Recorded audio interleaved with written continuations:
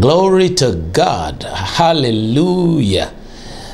I want to speak to you on the next Pentecost Day celebration.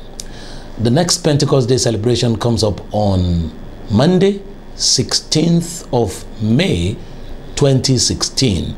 I want to invite all students in all higher institutions, secondary schools, and primary schools. We have a powerful rally together. You will be filled with the Holy Spirit, you will be filled with power. The Pentecost Day celebration has a direct benefit for our state in Osun. When we give prominence to the Holy Spirit, we'll come out of financial difficulties, we'll come out of insecurity, we'll come out of troubles that nations and states have.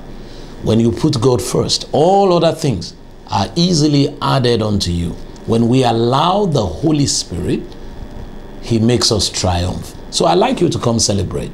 This is an invitation to all corpers, all members of the academic community, all market men and women, all traders and artisans, all civil servants, all clergies, all churches, all those who believe in the Holy Spirit, that God is a spirit, all religions who want the Spirit of God to enter into them. Come.